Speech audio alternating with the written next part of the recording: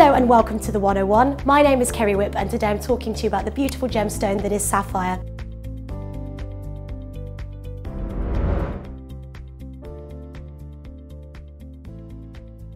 Now, sapphire has long had associations with mystery, romance, and also royalty, but did you know it's also considered to be a good luck charm? So, where does it get its name from? Sapphire actually gets its name from the Latin word sapphirus and also from the Greek word sapphiros. They're quite similar, aren't they? But essentially they both just mean blue. Uh, some also believe that sapphire also gets its name from the planet Saturn. For over a thousand years, this beautiful gemstone has long had associations with royalty.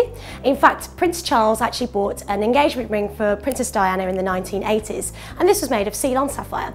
In fact, this ring is now one of the most important and famous rings in the whole world and has since been passed on to Kate Middleton by Prince William. Sapphires are unearthed in countries as far afield as Madagascar, Australia, Thailand and also China, but the most highly regarded sapphires actually come from Sri Lanka, which is often referred to as Gem Island. Sapphire has a rich, illustrious history and one incredible love story featuring none other than King Edward VIII and American socialite Wallis Simpson. Wallis Simpson was actually going through her second divorce when she became embroiled in a hugely controversial relationship with King Edward VIII. Edward desired to marry Wallis, which threatened to cause constitutional crisis in the United Kingdom. So instead, Edward chose to abdicate his throne and married Simpson on the 3rd of June in 1937. Edward lavished Wallis with jewellery including diamonds, emeralds and rubies. However, Wallis always maintained that her favourite gemstone was sapphire. In fact, she had her clothes specially tailored in order to display a sapphire bracelet that was designed by Van Cleef & Arpels.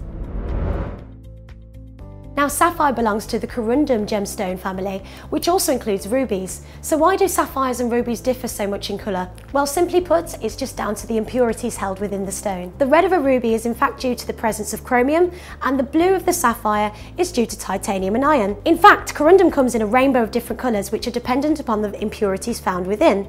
This includes lots of different colours ranging from colourless, violet, green, yellow and even pink. In fact, to top it off, some even display pleochroism, meaning that they exhibit a colour change phenomenon.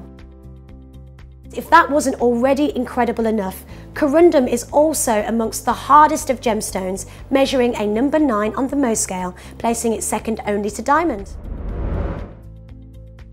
If you were born in September, then this gorgeous gemstone is in fact your birthstone.